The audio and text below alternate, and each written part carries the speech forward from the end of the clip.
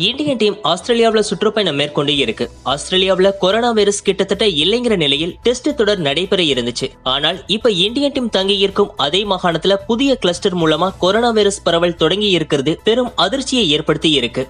முதல் டெஸ்ட் போட்டி நடக்க இருக்கும் அடிலைட் மைதானமும் அதே பகுதியில தான் இருக்கு. இந்த நிலையில் முதல் டெஸ்ட் போட்டி திட்டமிட்டபடி நடைபெறுமா என்பதில் சந்தேகம் எழுந்துள்ளது. ஹோட்டலில் தங்கியிருக்கும் இந்தியன் டீமும் இப்ப சிக்கல்ல மாட்டியுள்ளது.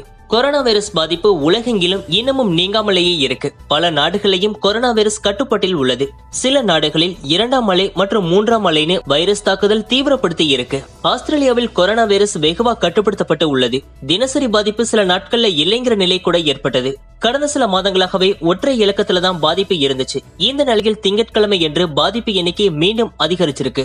கடந்த ஞாயிற்றுக்கிழமை நான்கு பேருக்கு மட்டுமே பாதிப்பு ஏற்பட்ட நிலையில் திங்கட்கிழமை என்று பதினேழு பேருக்கு பாதிப்பு ஏற்பட்டுள்ளது. முதல் டெஸ்ட் போட்டி நடக்க இருக்கும் அடிலைட் நகரில்தான் பாதிப்பு அதிகமா ஏற்பட்டுள்ளது. அங்க புதிய கிளஸ்டர் மூலமா கொரோனா வைரஸ் வேகமா பரவிட்டு வரதா சொல்லப்படுது.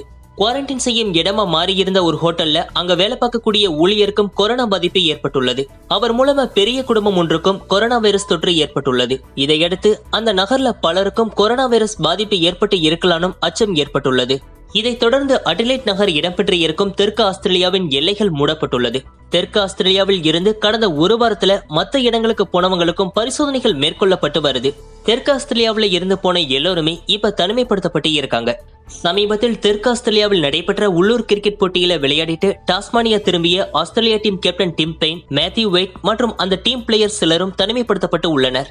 இந்த சூழலில் தெற்கு ஆஸ்திரேலியாவுக்குள் இருக்கக்கூடிய சிட்னி நகர்ல தான் இந்தியன் டீம் வீரர்களும் தங்கி இருக்காங்க அவங்க இப்ப குவாரண்டைன்ல இருக்காங்க. ஆனால் அதன் பின்னாலேயும் கூட அவங்க வெளியே போக முடியாத சூழல் ஏற்படலாம். அதே போல முதல் டெஸ்ட் போட்டி நடைபெற உள்ள அடிலைட் பகுதியில் தான் பாதிப்பு அதிகமா உள்ளது. எனவே முதல் டெஸ்ட் போட்டி நடைபெறுமா என்கிற கேள்வியும் எழுந்துள்ளது. கிரிக்கெட் ஆஸ்திரேலியா அமைப்பு எப்படியும் தொடரை நடத்துவோனும் உறுதியா இருக்கு. முதல் டெஸ்ட் போட்டி டிசம்பர் பதினேழாம் தேதி தொடங்க உள்ளது. இந்த நான்கு டெஸ்ட் போட்டிகளும் நான்கு நகரங்களில் நடைபெற உள்ளது.